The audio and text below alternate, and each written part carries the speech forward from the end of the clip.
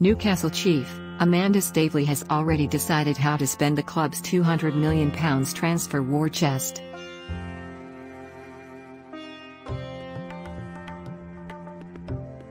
Newcastle United owner Amanda Staveley is set to give new manager Eddie Howe a £200 million transfer budget to work with over the next three years without violating financial fair play regulations.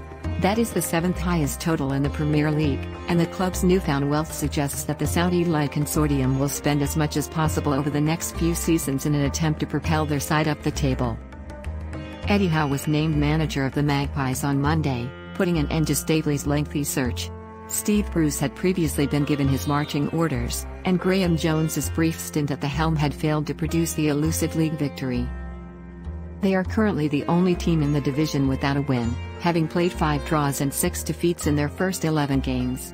That could soon change, with the January transfer window approaching and a change in the dugout injecting new life into the players. According to Sportsmail, Howe and his yet to be appointed sporting director will have £166 million to spend over a three year period. Early commercial deals are likely to push that figure up to £200 million, putting it in the same league as Arsenal and Manchester United. Former Chelsea technical director Michael Emenalo is still one of the frontrunners to take over as transfer chief, and the January transfer window will be crucial. However, he would be faced with an immediate dilemma as to whether the majority of that money is spent now or delayed until later in the process.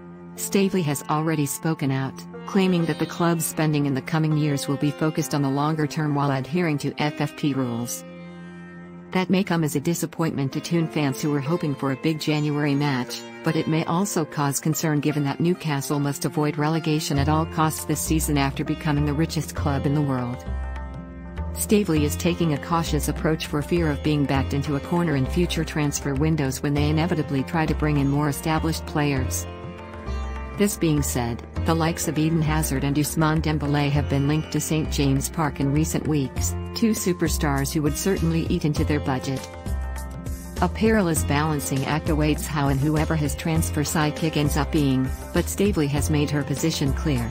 Newcastle United is deserving of the Premier League title. We'd like to get there. It will take time, but we will arrive in October, she told Sky Sports. We want to see it get those trophies, obviously. At top of the Premier League, in Europe, but to get trophies means patience, investment, time.